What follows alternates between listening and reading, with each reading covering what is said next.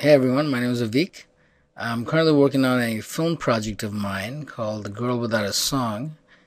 And I was working on a part that required some chroma keying, and I thought I would make a tutorial. Now, this is a tutorial for beginners, and while there are lots of tutorials on chroma keying, I thought I'd make another one because I have a certain workflow that I think is going to be very beneficial to beginners. So, just keep watching until the end and uh, you'll see what I mean. So I thought I'd give you guys a practical example. And uh, this is a practical example in the sense that I'm working on this thing right now. And I'm assuming that, you know, some of you guys might face similar problems. So in this uh, scenario, the problem is we need to get rid of this microphone over here and get rid of this wall thingy thing over here.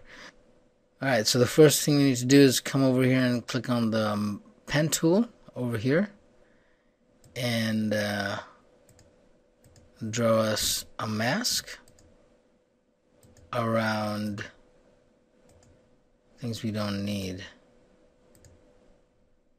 Maybe like this can go over here. Okay. Alright, so, and now we need to come over here and you can see I've already picked it out but you can type in Keylight and then drop this on here. Come over to Keylight use the color picker pick a color near to them and you know it's not a bad start right here. Um, alright so let's go over to view go to combine matte. And what we want to do is if we go back to the final result, what we want to do is anything that used to be green before, we want that to be black. And anything that used to be uh, is them, as the subject, we need we want that to be white, okay? So you come over to screen matte, you take the clip blacks up, until you see this part going down. You see it's becoming completely black. Take the clip whites down until they become completely white.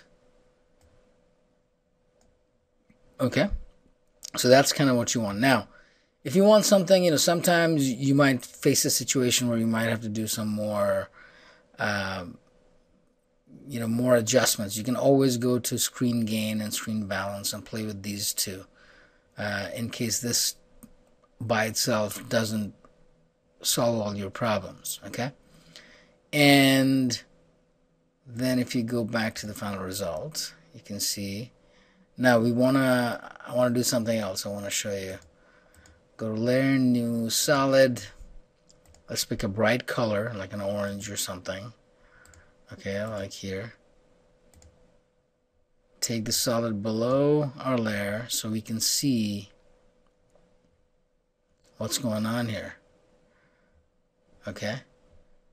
All right. I think I think it's all right, but not exactly where we want to be. So I'm going to show you something. So when you come to a final result, and check this out. If I take the Keylight off, look at his jacket, right? I put the Keylight on, look at how how grainy it becomes. Look at all this stuff. What is what the hell is all this stuff right here, right? Right?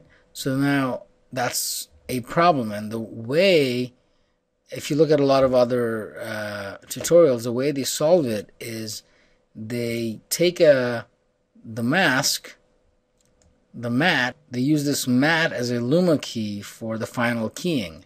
But what we're going to do is instead of final result, check this magic out. We're just going to use intermediate result.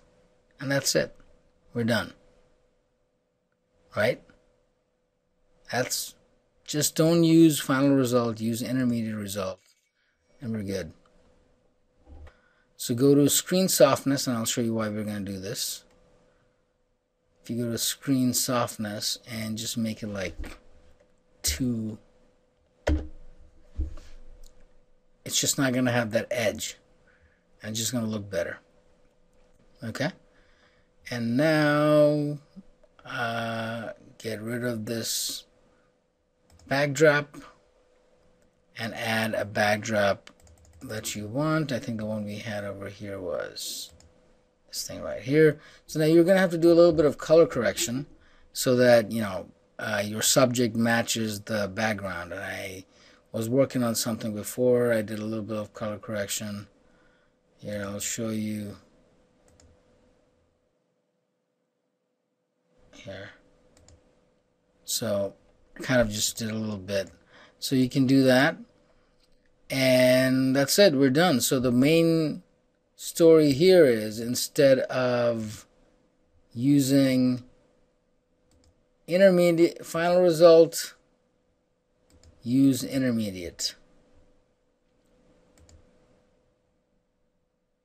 So here we go.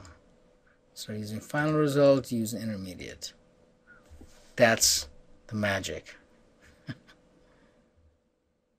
And you can of course adjust this further. Like look you can see at the edge it looks a little there's you can see the green tint right? So you can come over to screen shrink and grow and make it like minus 1.5 in this case maybe. And yeah that's that would be it. I wouldn't do much more in this case. Now my uh, green screen wasn't it wasn't that difficult to do because uh, if I take get rid of this, this green screen part uh, was about three meters away from uh, the subjects, and that's why there's so little spill. And so that's the key. So if you plan your uh, pre-production or your production, you're going to have less problems in your post-production. All right, so hope that was useful.